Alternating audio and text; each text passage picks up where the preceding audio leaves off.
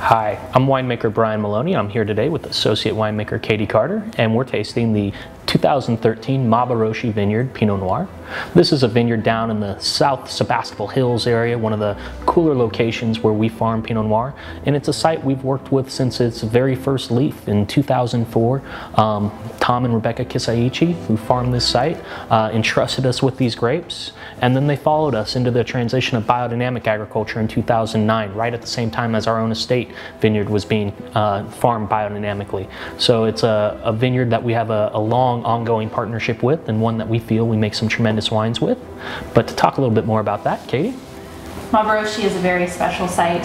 Maboroshi, uh, loosely translating from the Japanese as whimsical dream, um, is a magical place that in the wine expresses with elegance, earthiness, and really delicate femininity that um, exudes uh, above and beyond some of our other wines. So. Yeah, just a, a, special wine, a special place. Um, one of our favorites, one of the fastest selling. So uh, enjoy it while you have it, and cheers. My go-to.